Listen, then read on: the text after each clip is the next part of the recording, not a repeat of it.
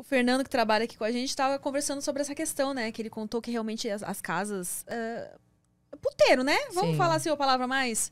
Uh, tem que pagar, né? Esse, esse arrego que você estava É o falando, que eu não arrego. conhecia como essa palavra. Sim. Porque, uh, segundo a lei, uh, se prostituir não é crime, mas alguém que.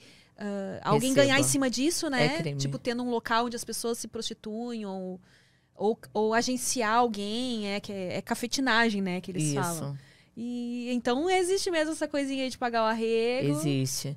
Lá era uma coisa muito escondida, assim, até a dona da sala ela fazia, mas ela sabia com quem ela poderia fazer.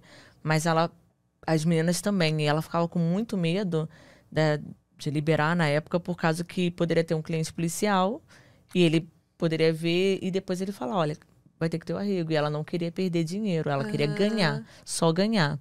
E aí, é, no final, eu não sei hoje em dia se ela a- a- atende com sexo. Mas na época tudo era meio camuflado, tanto da parte dela quanto das meninas. Então todas transavam com os clientes que elas se sentissem à vontade, mas escondido para não, não acontecer essa explanação a ponto dela ter Mas que. aí não lá dentro, combinava de, de ir pra outro lugar, Sim, é isso? Até dava. Assim, se alguém tivesse ido embora, você ficasse sozinha, dava. Mas era bem mais difícil pelo barulho, por serem. é, serem divisórias, não serem quartos individuais. Ah, tá. Então eram divisórias. Eram não- não divisórias. tinha- Hum. Não tinha aquele. Aí, quartinho, tipo, né? se tinha três meninas atendendo ao mesmo tempo, ele fazendo a massagem, por exemplo, e uma delas começasse a, a transar com o cliente, dava pra ouvir, né? Que o Dava, movimento tinha ali que ser muito tipo... discreto. O ideal mesmo seria fora. Então, como os clientes começaram a procurar muito isso, eu acabei, assim, oito meses na massagem. Eu falei, ah, eu vou transar. E te ofereciam, provavelmente, ah, um, um bom dinheiro a mais, ah, te pago tanto a nem mais. tanto, Nem nem, tanto. tanto, assim, porque essa época de 2009, 2009, pouco, tipo, era muito, vamos dizer assim, porque não era um, um dinheiro que eu ganhava no emprego de vendedora, né? Então, né, nessa hora, eu fiquei assustada, assim, porque era pouco, mas no final do mês era só no final do mês eram 4 mil reais, assim. Então era muito, tipo, 4 mil reais eu não ganhava como vendedora.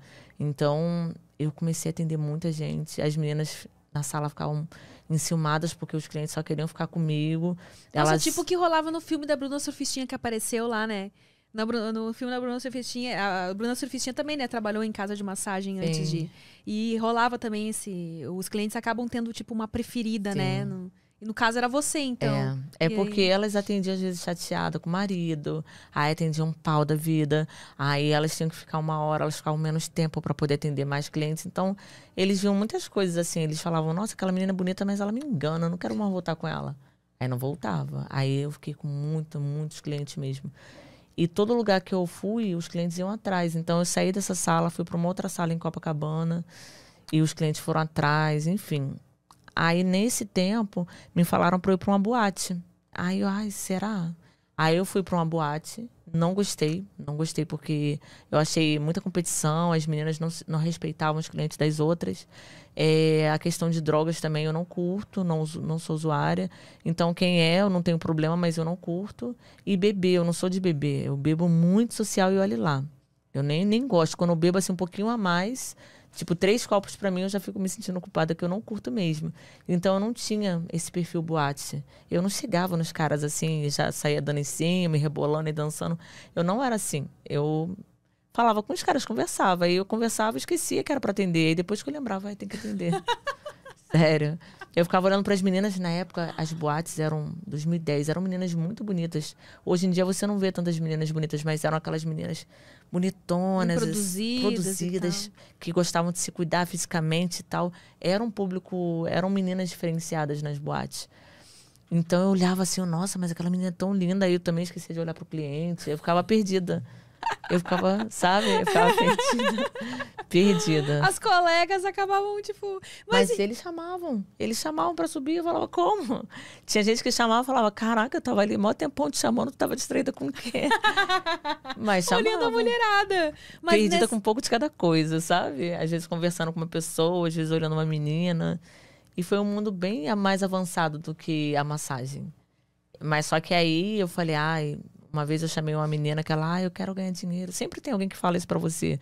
Nesse meio que você está, vai ter sempre alguém, ai, eu perdi meu dinheiro todo, aí eu tô desesperada. Até hoje eu escuto a mesma coisa, assim, sabe? Aí teve uma menina, uma menina que mandou mensagem, ai, eu não sei o que eu faço. Falei, cara, vem pra onde eu tô. Aí chamei ela. Ela entrou. Aí o cliente iria subir com essa menina, que era um cliente que eu conhecia. Ele sempre saía com as meninas novatas da casa. Eu já tinha subido com ele quando eu entrei a primeira vez lá. Aí ela Resumo da história, ela se arrumou, iria sair com ele, coloquei ela lá, então, poxa, legal, tô indicando um cliente, gente boa para ela subir, vai ser legal. Daí, tipo, quando ela iria subir, quando ela acabou de se arrumar, se aprontou para sair com essa pessoa, uma outra menina deu em cima dele, tipo, eu comecei, eu elogiei essa menina, nossa, você tá com um biquíni bonito e tal, ela começou a se achar, ai, tudo em mim fica bonito, ai, não sei o quê. Eu achei mó escroto, assim, da parte dela, e daí ela começou a dar em cima do cara, pegou o cliente da minha amiga e subiu. Aí minha amiga desceu e ele tinha subido.